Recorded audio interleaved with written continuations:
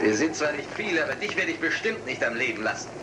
Du bist ein Mann, der vor der Katastrophe lebte.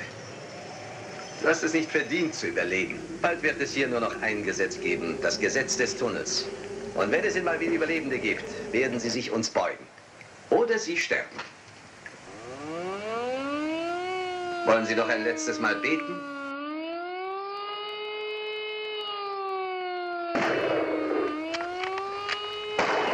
Vergesst niemals den Pakt. Unseren Pakt mit Gott. Gott hat uns auserwählt.